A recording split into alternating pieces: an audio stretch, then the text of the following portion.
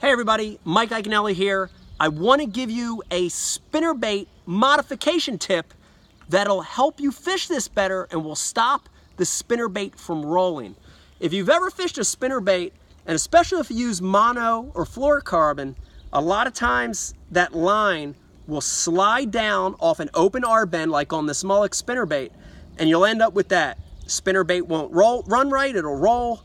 And I came up with a little trick using braided line to stop that from happening. It's real simple.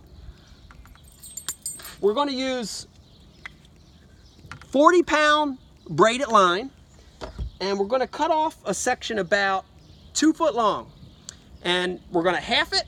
And the first thing I wanna do is I wanna go to that open R bend and I wanna make four loops around that bend. One, two, three, four. I made four loops around that bend.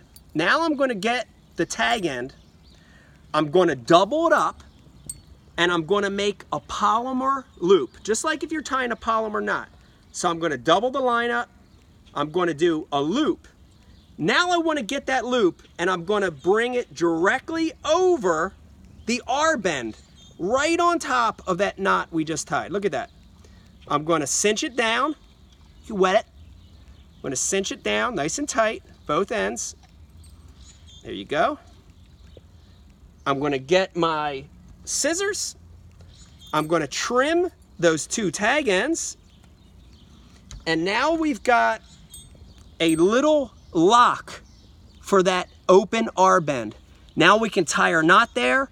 That braid is going to keep the line from sliding down and your Molix spinner baits are going to run straight and true every time. Try that little braid trick for closing the open R bend on your Molix spinnerbaits and you're gonna catch more fish. See you later.